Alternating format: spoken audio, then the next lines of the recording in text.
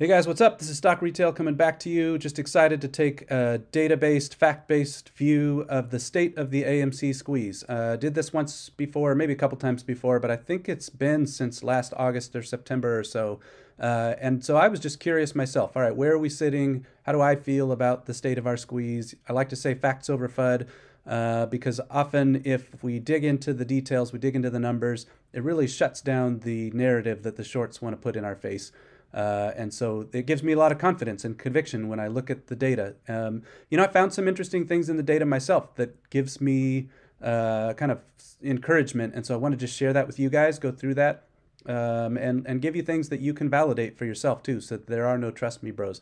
Before I dive into that information and go through that, just want to highlight this was a tweet from Adam not very long ago, a few days back, and a lot of us were pretty excited. If you had known, uh, look at the bottom there, that hashtag AMC Gorillas. I think some people thought, oh, that's new, that's a new signal from Adam. Actually, it's been, oh gosh, also since last summer, maybe last spring or summer, kind of before before Barbenheimer, I know that. And I think even a little ways before that, if I recall, uh, there was a group of apes who had decided, hey, let's kind of just take our destiny into our own hands, try to help ourselves, and basically do, um, no pun intended, or maybe some pun intended, guerrilla marketing. If you're kind of familiar with that, grassroots, guerrilla marketing, street level marketing, um, just sharing something that we're excited about. We're excited about movies. We're excited about AMC. We love movie culture. Uh, and so there was a group of apes uh, who started that. I got recruited sort of to help early on, but I, I can't take much credit. I wasn't doing the heavy lifting that these guys were. So a lot of credit to you if you were one of the AMC gorillas. You kind of know who you are. Um, and I still interact with with quite a few of them. Just love your work, love your persistence. Uh, that you stayed with this to the point that it started getting more traction and more visibility. So if you're kind of interested, check out on Twitter in particular. Look up this hashtag AMC Gorillas. There's an account uh, that has LRR uh, AMC Gorillas pretty much. So that just stands for like, reply, and retweet. The idea is just to share excitement and share enthusiasm about movies without so much being about the stock. You know, sometimes we are all out there talking about the stock that we love, and that is great and that helps each other. Uh, but you know what also helps our stock is movie going and movie energy and and people knowing about the AMC brand and us driving market share in those ways. Uh, so that's kind of been a great effort by them. It's just neat to see the nod from Adam. Um, you know, a lot of these are just kind of homegrown, homespun um, visuals that the team spends their own time working up. So just congratulations to you guys, AMC Gorillas. Thanks for all your hard work on that. Uh, and and if everyone would go back, you'd see I had dropped a lot of Easter eggs. I used to use a lot of their um, visuals, so I'll try to start getting back to that too. So that's just cool. All right, so let's first dive into the data. You know, one of the things the shorts like to tell you, um, obviously, is kind of let it go. You're a bag holder. That's never happening again. So I just want to ground myself in context and ground myself in reality. So what I'm showing you here is a view of sort of pre-January squeeze so you can kind of see, here's the January squeeze bump in there. Um, these are kind of adjusted for um, dilution, not quite adjusted for the most recent dilution, but generally you get the idea. So um, you can see the January squeeze, you can see the June squeeze, you can see how radical that was from pre-January all the way to June. Um, and so from kind of early January to mid-June, that was a 3,700% run, 37x. It's actually a little more than that. Um, and I'm going to show you some April numbers on this squeeze. So you, uh, I think I'd looked before, and that was like a 700% run, so kind of a 7x from April to June. Uh, and so whatever metric you want to look at, first off, we can say, hey, this happened once before, and what were the conditions for that? And do we think the conditions are better or worse now than that? And so that's what we're just going to compare. And so I'm literally just going to jump in and go through this. I'm going to move a little quickly because I'm actually trying to get out of the house to go to my daughter's track meet here soon. So I've got to get this video done in time. Uh, but I was just excited to look at this myself, and so I wanted to share it with you. So let's just go through line by line. So first of all, what was the short interest percent, and what was the short shares? So you can see um, most of this, or almost all of this really, I'm quoting from Ortex. You could go search these up um, on whatever platform you're on, and you can find this data and validate this. So that, again, we don't have trust me bros. So I'm kind of taking this short interest data mostly from Ortex. You can also find some of it in Fintel um, and some other sources like that. All right, so in mid-April, and that was just because that was where I could find some data. Um, and I'm keeping consistent to the video I did on this last fall or last summer. So we had 15% short interest. All right, and then if you actually look, Um, when I had done this in August, you can see also we had 15% short interest. Now you notice this asterisk. I was including APE at the time uh, because we were also getting trolled a lot, right? That, hey, what's the blended short uh, percent interest uh, on APE versus AMC and all that. So I was combining the shorts on APE and the shorts on AMC because back then we knew we were going to convert um, and eventually they'd be brought together. And by the way, the other uh, trolling you always got was, well, this conversion with APE, they're just going to cover all their shorts. So why don't we look at the data and see, did they? Well, lo and behold, we're at 19% short interest now. Um, we are higher in our percent short interest than either the 2021 squeeze or before the ape conversion when you were told by the trolls that the shorts would disappear because they covered with ape.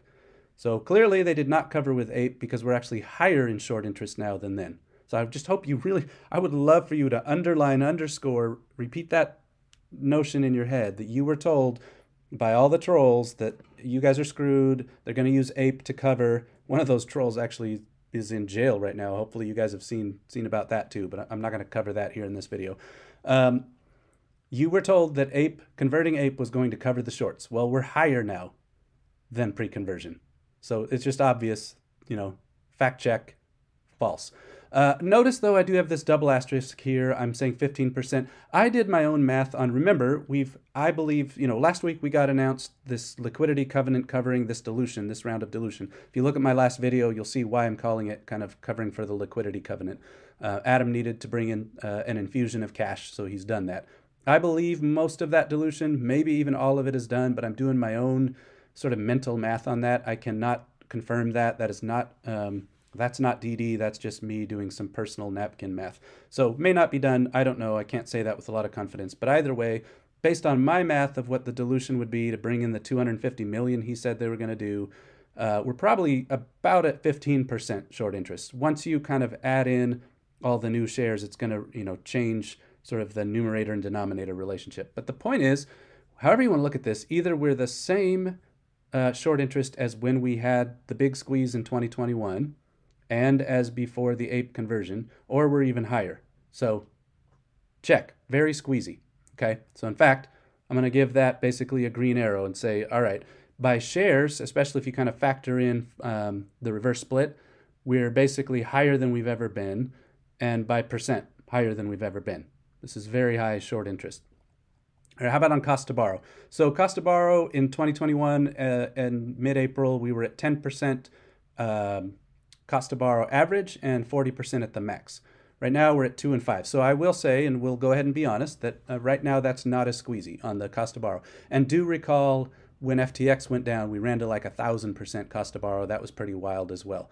Um, so let's just be, you know, objective here. The the data there says we're not as squeezy, but I'm going to put a big old fat yet on that one. Um, okay, on the daily box office. So let's just think about the state of the business. Uh, if you have a healthy business that has been shorted, that's a whole lot more squeezy than a dying business that's been shorted. Uh, if the business is not going well, a short has the conviction to stay in. If the business is turning around and doing better, then I don't know what the heck shorts are thinking, and at some point you, we will break them. So in this case, the daily box office back then, when we had the big squeeze, was 8.9 million bucks a day. The U.S. domestic box office was making about nine million dollars a day. By the way, that's a very very small number now. That's like a Wednesday for us. Wednesdays are the lowest day of the week. Right now, we're in still a, a, strike impacted quarter, but you can see I think we're going to be about 20 million bucks a day. And then I think in the next couple quarters that are coming, we're more like 25 plus a day. So we're kind of like 3x almost uh, what it was when it squeezed before. So again, just think through like a short saying to your face, it's never going to happen, you're a bag holder.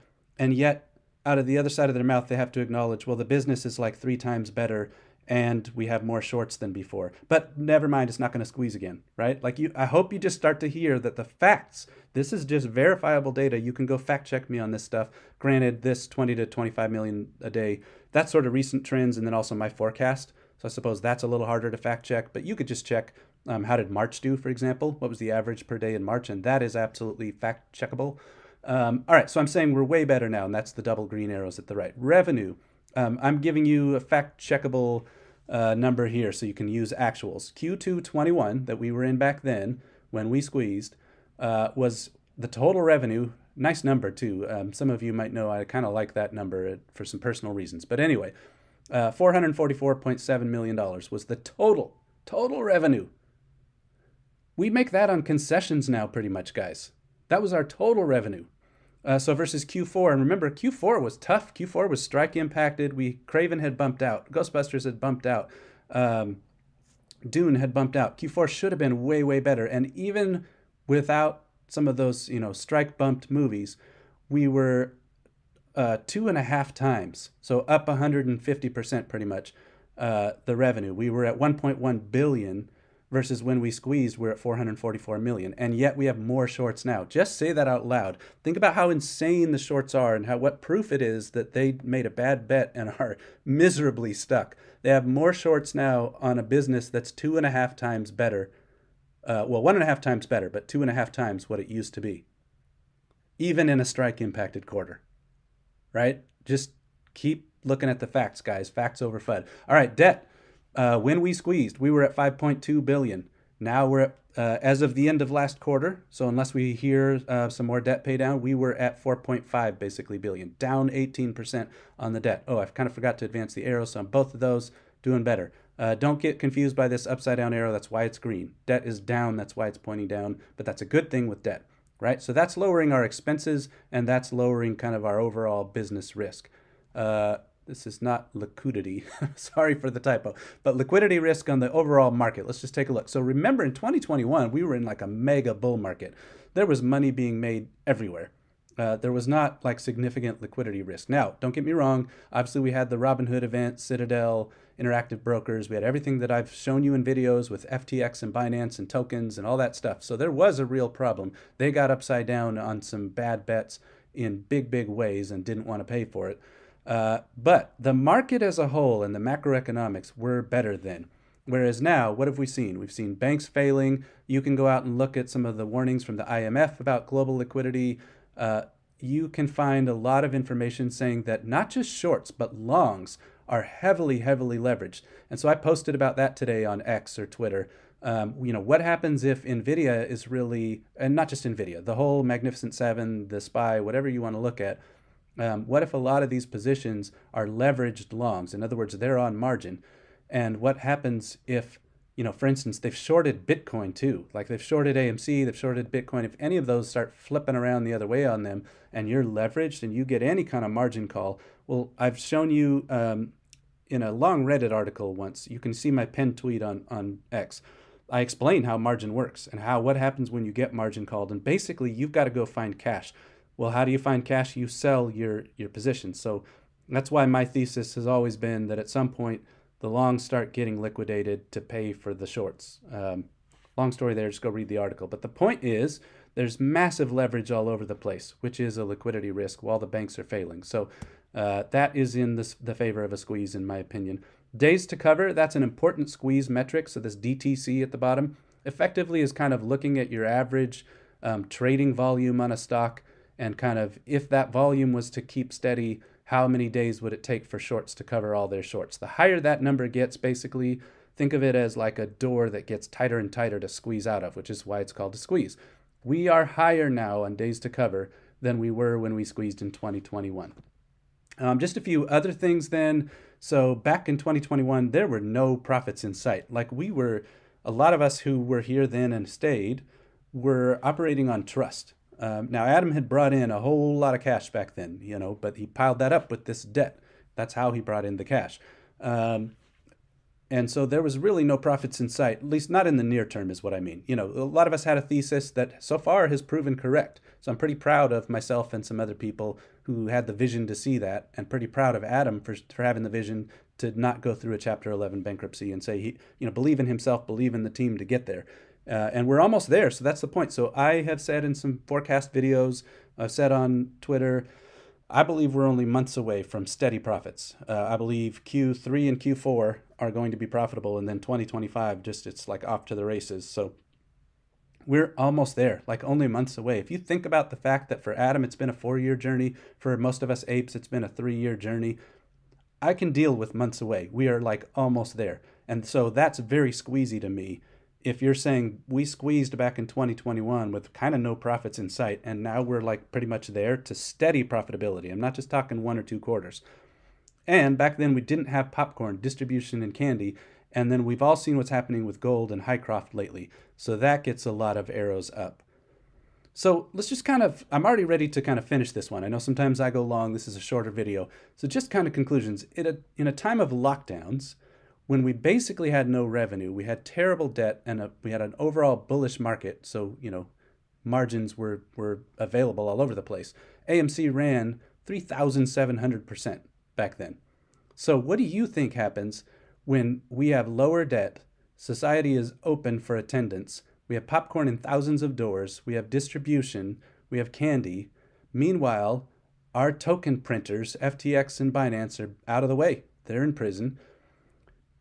There are higher shorts and worse macroeconomics. You already know what I think. We will win. Let's go.